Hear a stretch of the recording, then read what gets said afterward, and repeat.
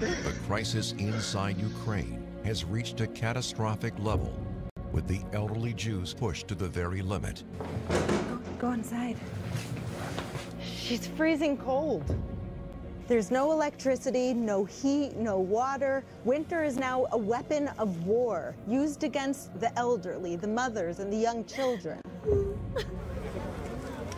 They've been lined up here for hours. These are precious people who are hungry, and they have nothing. If someone doesn't do something soon, a humanitarian disaster is coming. So many Jewish people who are just waiting, waiting for someone to care enough to pick up the phone.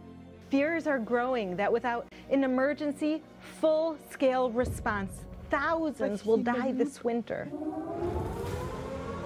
The International Fellowship of Christians and Jews needs your $45 gift now to help rush a winter survival box filled with food, medicines, and other life saving supplies for elderly Jews and families in Ukraine. They've felt the shaking of missiles.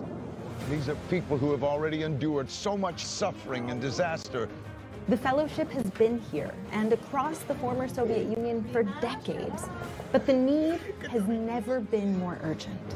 Taking out power, taking out water, simple water to drink. We're talking about the difference between life or death.